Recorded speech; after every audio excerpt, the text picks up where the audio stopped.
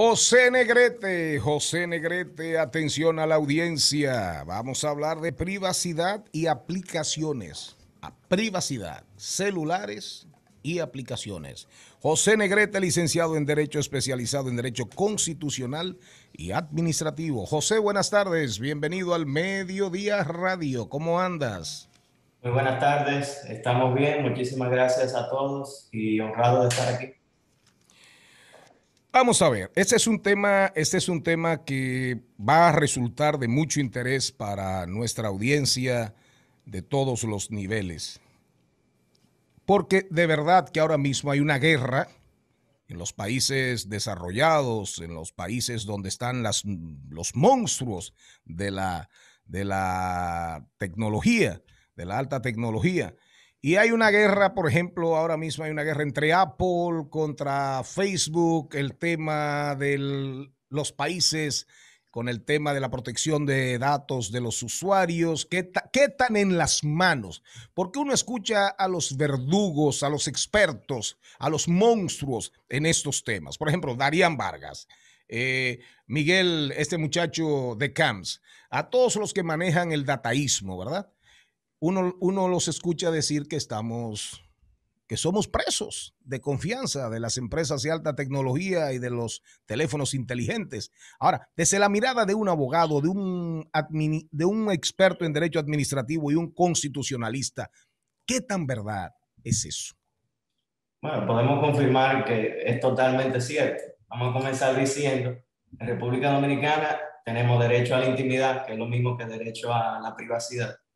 Eh, se reconoce a nivel constitucional en el artículo 44, numeral 2, eh, que básicamente dice que toda persona tiene derecho a acceder a los datos que sobre ella reposen en todo tipo de registros públicos o privados, entendiendo estos privados precisamente como las aplicaciones móviles que generalmente descargamos.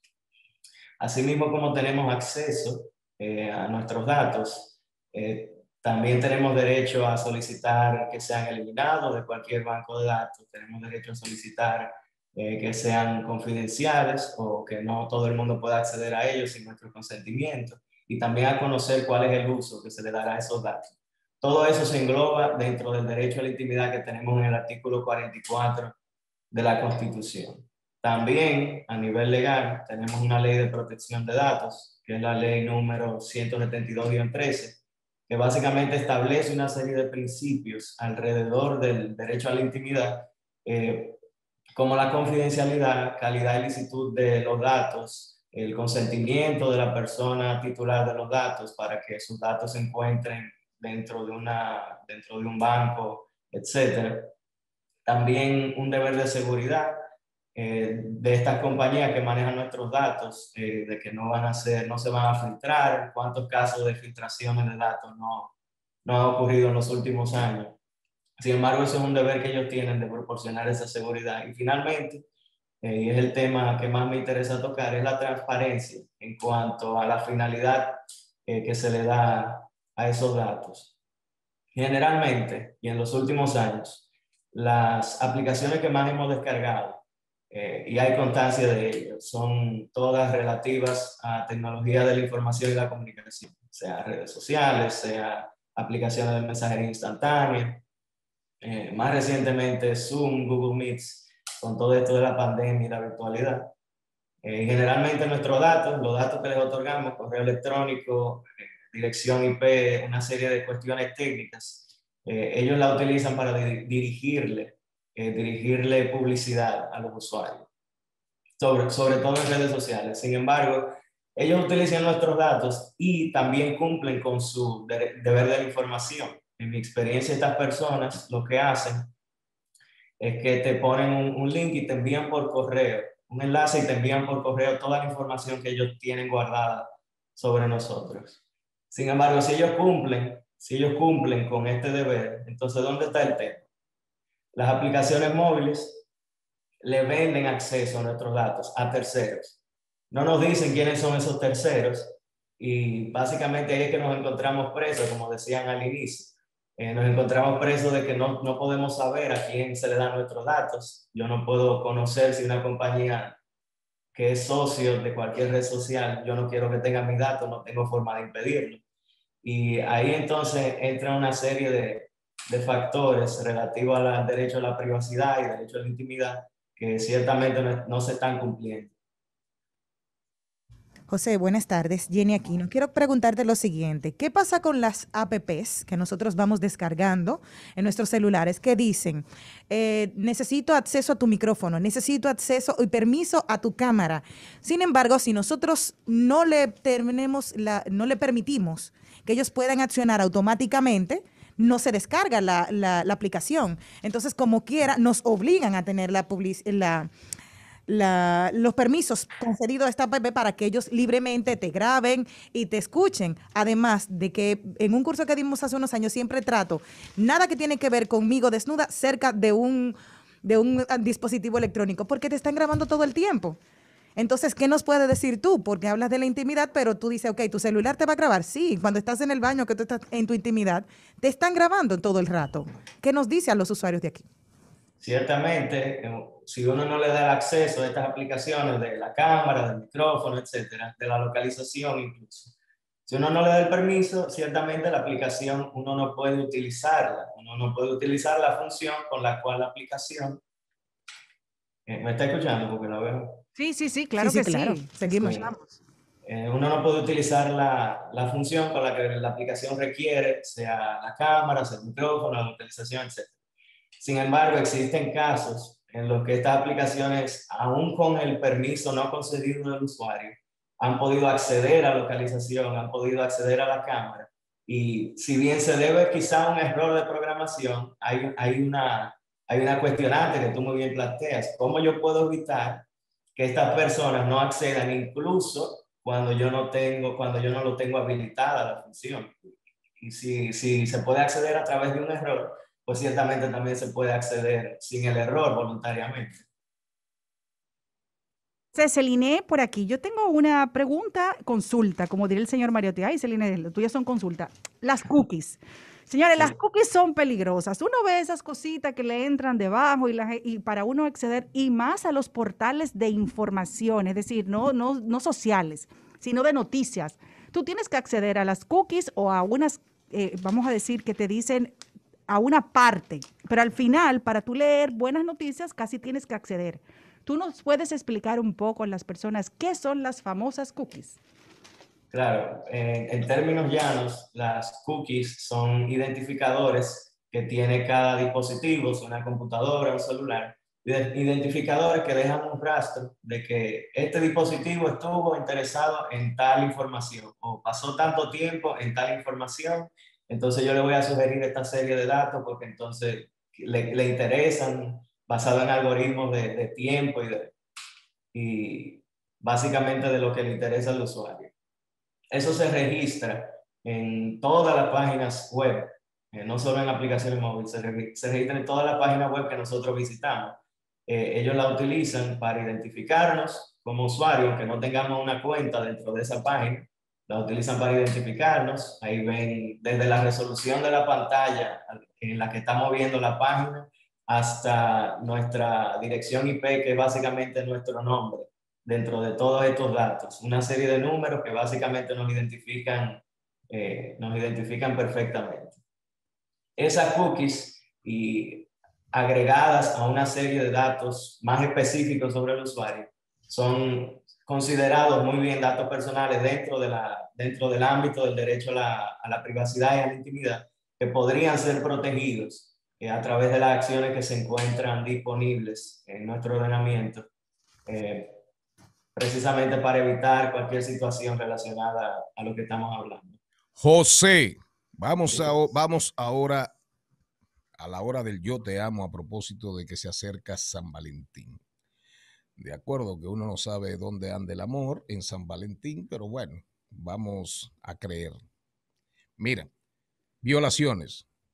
La autoridad dominicana, la autoridad competente, Indotel, que anuncia ahora que aprobaron cuatro reglamentos y normas, que el Consejo Directivo aprobó modificaciones a normas regulatorias, reglamentos que tienen que ver con los derechos de los usuarios, con el tema de las prestadoras de servicios y la calidad del servicio que recibe el usuario, en fin. Ahora, siempre hay quejas sobre esto. En un tema tan sensible y tan de actualidad, ¿qué tan efectivo es Indotel? ¿Se ha, ¿Se ha, peleado alguna vez, la autoridad dominicana ha peleado alguna vez en su vida con una multinacional de la tecnología? Bien, no tengo, no tengo conocimiento de algún caso en el que, por ejemplo, Indotel haya hecho algún reclamo a Apple, Facebook, estas grandes compañías.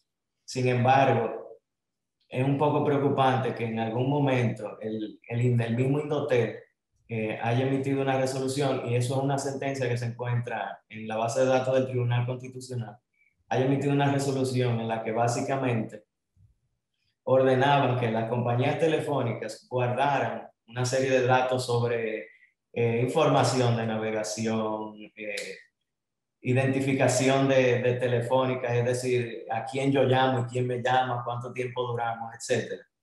Eh, que, ellos guarden, que las telefónicas guarden estas informaciones y que pudieran ponerlas a disposición de la justicia sin pedirle permiso al, al, titular de la información. Eso quería decir que si yo recibí una llamada y la Procuraduría quería escuchar esa llamada, nada más tenía que ir al Indotel basado en esa resolución. Sin embargo, el Tribunal Constitucional la declaró por vía de una acción directa constitucional, la declaró no conforme con la Constitución pero esto nos da algo de perspectiva, como de qué lado estaba en ese momento el Indotel. Ya veremos cómo cambian los intereses según van cambiando eh, sus representantes. Sin embargo, en ese momento dio de qué hablar el tema. En cuanto al derecho a la intimidad, en cuanto al derecho a la intimidad, eh, existe una serie de, recursos judiciales a los que se podrían escribir los dominicanos, pero que ciertamente si uno llama, por ejemplo, a una acción de habeas data a Facebook o llama a una acción de habeas data a Google, a quien sea, eh, es, muy, es muy poco probable que esta persona se haga representar aquí en un tribunal de primera instancia para resolver los temas que tenga un solo usuario sobre preocupaciones de sus datos. Entonces estaríamos hablando de una acción judicial que no es que no es efectivo. No es viable. José, la última pregunta para que me la responda fast, fast, fast, fast, como dicen rapidito.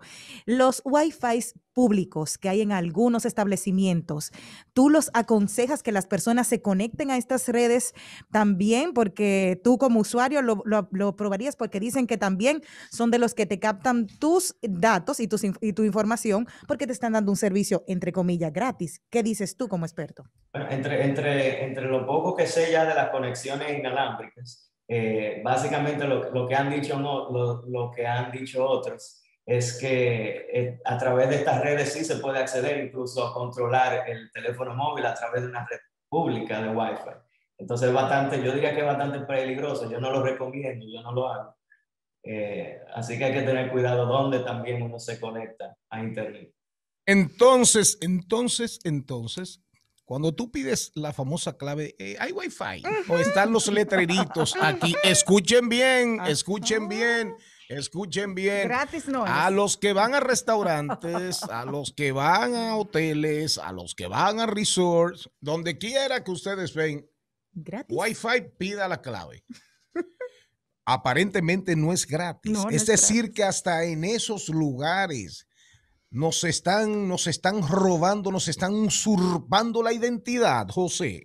Es, están muy poco recomendadas este tipo de redes. Eh, la probabilidad, por supuesto, de que nos usurpen la identidad a través de estas redes es mucho mayor a que si uno lo hace a través de una red privada que controla, que controla uno mismo. Inclusive le voy a decir algo, señor Mariotti. Ay, si en su oficina, si en su oficina, a ver qué dice el señor Negrete, usted tiene Wi-Fi para los invitados, tiene que tener cuidado con la que usted utiliza para usted, porque también puede ser También. vulnerado, vulnerado en su oficina. Debe tener una para el público y una para sus usuarios. Entonces, en conclusión, usted, todos, señores, ya a esta altura de la vida, La uno debe huella- de saber todo uno. la huella digital, la huella digital nos embromó la vida. Así es. Porque al final, al final, la tecnología nos está complicando más la vida, porque ahora uno tiene que cuidarse Antes usted se cuidaba de un enemigo que usted más o menos identificado o de un enemigo que usted presumía. Pero ahora, ¿de quién es que hay que cuidarse? Porque tú me decías que tú no pones el teléfono No, cuando andas desnuda No, no, por no, la no. casa, cuando sales nunca, al no, patio a, marote- a marotear en No. fuera. No, No, no, espérate. no, ¿Y qué hace Jenny haciendo eso en su casa desnuda? Tú No, sales pues, así a marotear. Es la intimidad tuya. tú- En el patio, tú sales a marotear desnuda. patio, eso es, Ah. suponiendo. Pero sí, lo que lo único que me falta que me diga el celular es, Jenny, te he visto un poquito con un poquito más gorda, por favor, ponte a rebajar en estas áreas porque ya es lo único. Si tú lo pones y lo planificas o con Siri o con Alexa, te lo va a decir. José, Ya. José, uno coge, uno coge su achecha porque en ese horario tampoco al mediodía uno puede ser muy serio con este tema, de, de circunspecto, así, ¿verdad? Pero es la realidad. Pero es la realidad. Antes, en el sur, en el sur y en muchas localidades del país, a una persona le ponían un apodo ¿Cómo así, señor y no mencionaban su nombre. Y hay gente que no daba su nombre. Tú podías matarlo.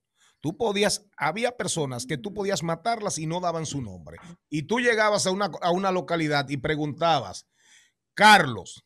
Decían, Carlos, Carlos, Carlos. Y nadie sabía quién era Carlos.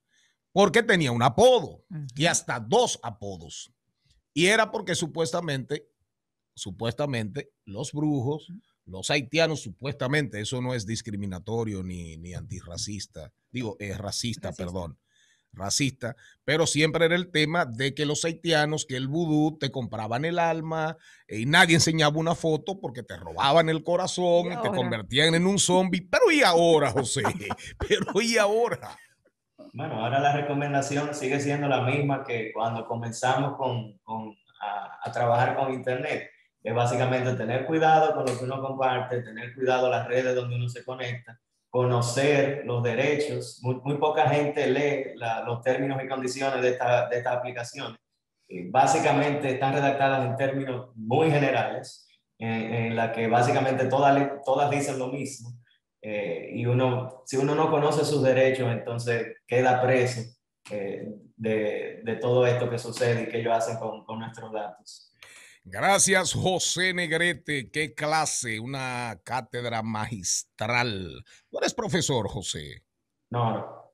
Ah, pero Tiene deberías, vocación, sí. deberías. Tú tienes vocación, eres bien eh, didáctico, se aprende contigo. Hoy aprendí muchísimo. Sí. Aprendí que ya no vale la pena ni cuidarme, José, después del cambio. Los deportes.